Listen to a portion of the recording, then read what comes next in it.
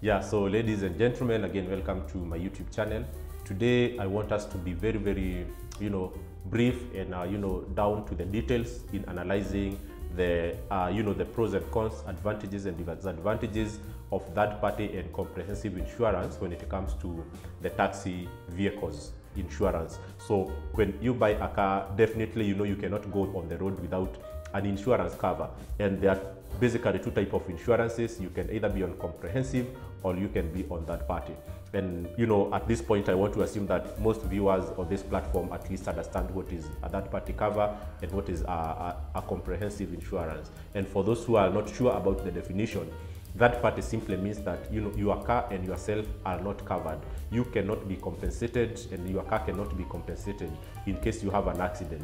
But the person, if you hit a person or you hit another car, that car or that person can go to court and claim to be compensated through your insurance.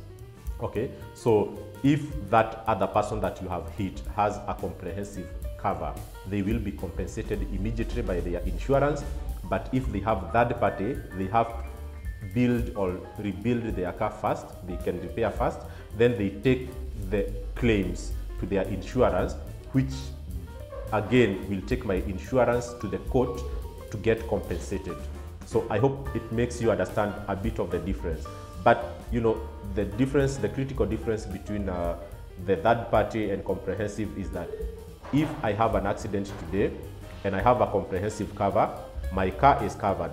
So I will, it will start the repair process very soon, depending on the how fast the approval process is, but without any requirement from me, whether I was on the wrong or whether I was on the right.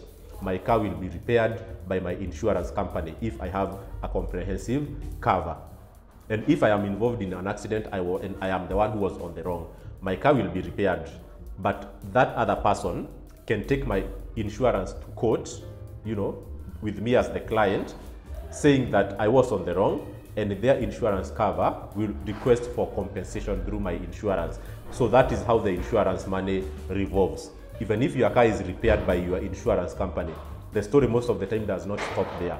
The other person that you have hit, if it is identified that I am the one who was on the wrong, the other insurance company will pursue me through the court, but the compensations will be done between the insurances without me getting involved. So simply, that party means that your car is not covered and you are not covered if you are involved in an accident. Nobody will repair your car, you will have to repair it with your own money. If you have the uh, comprehensive insurance and your car has an accident, it simply means that your car will be repaired whether you are on the wrong or on the right. But in both insurances, you as the driver, you are not covered. Okay, only the people you hit and the people you are carrying if the, it has been registered as a PSV. So your passengers, in case of an accident and they get injured, they are covered. So there is an amount they should they can get if they take you to court and it is identified that you are on the wrong then they can be compensated. Okay? So those are the two critical uh, differences. So what are the pros and cons of each of these? What are the advantages? The advantages of third party is, is that it is very very cheap. With only 8000 kenya shillings per, per year you can have yourself covered. The second one it, it, it's that it saves you time. So if today you have an accident, a, a minor accident, or you know an average accident that will cost you like uh, fifty thousand to repair, you can take your car tomorrow to the garage of your choice, and then the repairs will start the next day, and maybe within a week or two maximum, your car will be back on the road. Uh, while on the comprehensive, I don't know whether you should analyze that one separately. Let me first of all finish with the pros and cons of that party. So I say it is it saves you a lot of time. And then uh, you know the disadvantage, the major disadvantage of that party is that you are not covered together with your, with your car. So if your car get involved in a very serious accident that leads to a write-off, that is the end of your car. Nobody will compensate you and you will lose all your money. If your car gets stolen, again, you will lose all your money. So that those are the two critical, you know, uh, disadvantage of the of that party. Let us now go into the comprehensive. The major advantage of comprehensive insurance is that your car is completely covered. Whether it is stolen or it gets an accident and it is completely written off and forget, forgotten, you will get compensated by your insurance company. They will give you money back into your account worth the valuation. So if your car was valued, let's say 1 million Kenya shillings, that is the money they will give you back. Uh, the second advantage is also, you know, your car, you know, if it, in case of theft, you know, the insurance company will also compensate you. So you will never lose your car completely. The other one is in case of minor accidents, you know, accidents that require 20, 30,000 to repair, you will, can take it into the garage and then the insurance company will do the repairs and then you take your car home without spending a single shilling. So those are the advantages of comprehensive insurance. On that other hand, the, the disadvantages of comprehensive insurance, the first one is that it is terribly expensive. Right now, if you want to purchase PSV insurance comprehensive, it will cost you between 60 to 90,000. 60 to 90,000 per year. While I have just mentioned to you that the that party will cost you like 8,000 Kenya shillings per year. So see the difference. Let us work with 70,000 on average. So 70,000 per annum. Secondly, is that if your car gets involved in an accident, you tend to lose a lot of time, whether a small or a big accident. Repairs with an, with an insurance don't start immediately. So you will need to go through the due process, you go through the, the accident assessment, you fill in the documents, you know, you get approvals, and then before even your car starts to be repaired, sometimes even two weeks go by. And then before the full repairs are done, your car can stay in the garage for two months. So you imagine the amount of loss you will incur, especially if the accident was not a major accident. If it is a small accident that requires minor bodywork, it can take you, if you take that car to the garage yourself, within the same day you can go with it home and continue working the next day. So if you are in a comprehensive plan, even main uh, small work like painting can take a whole month, meaning that you will lose the whole income for that month and your driver will be jobless for that one month. So those are the, that is the very, very critical, you know, point to consider when you are paying for third party insurance for PSV cars. The other one is that you don't have the luxury to take the car to the garage of your choice because there is already a prescribed list of garages that these insurance companies work with.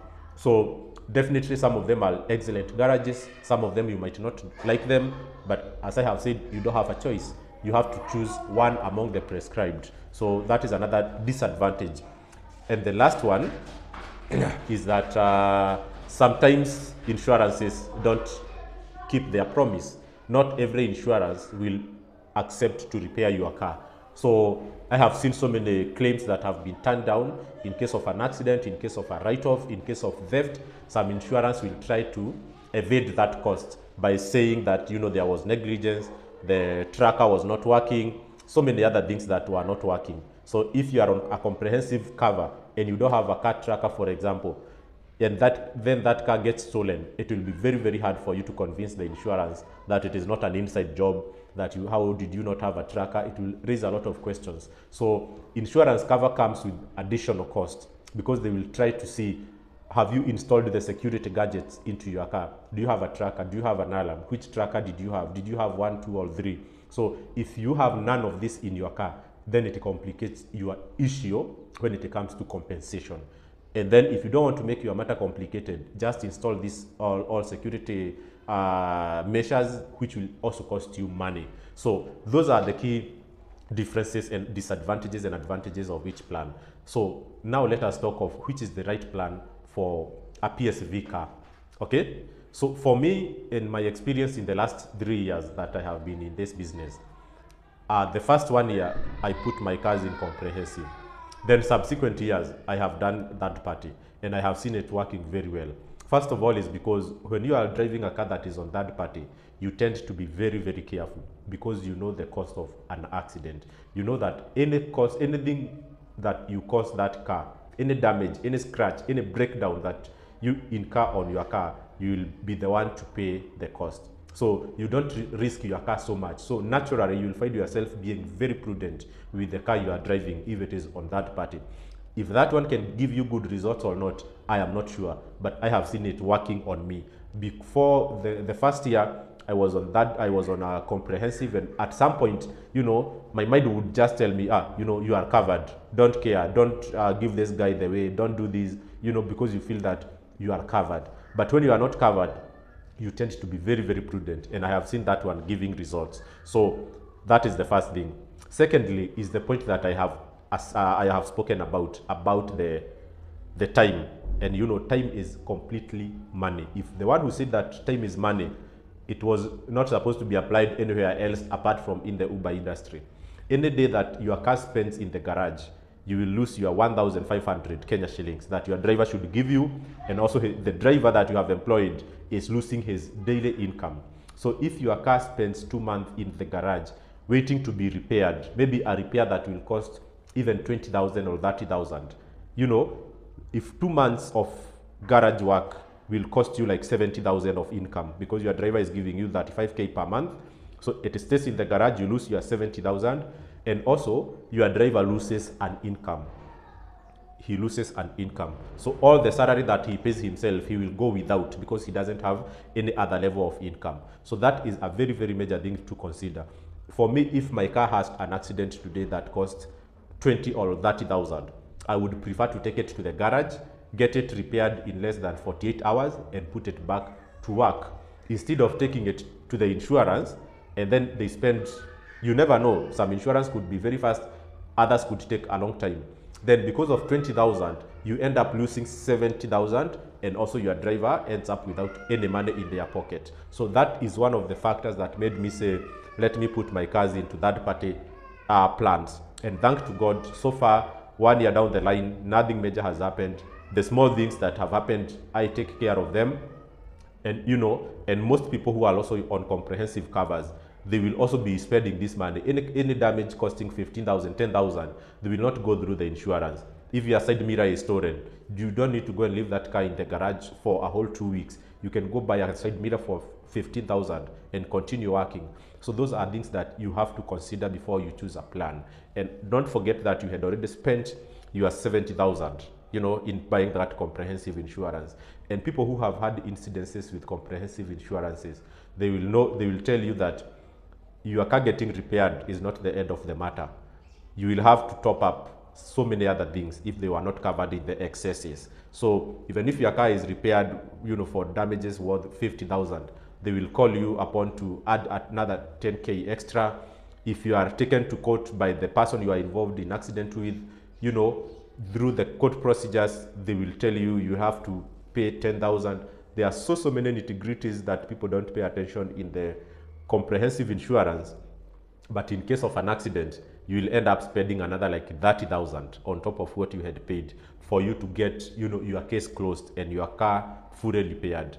So in my view, I say, you know, business is all about risk, is all about risk, but definitely you must know what you are risking. And this video, at least I hope it has given you some insights and uh, you know understanding on what you are risking when you go for this plan and not the other. If there is a point that I have forgotten, please drop it in the description box and I will be very happy to address it together with you guys. Cheers and continue enjoying your Easter holidays. Okay, bye for now.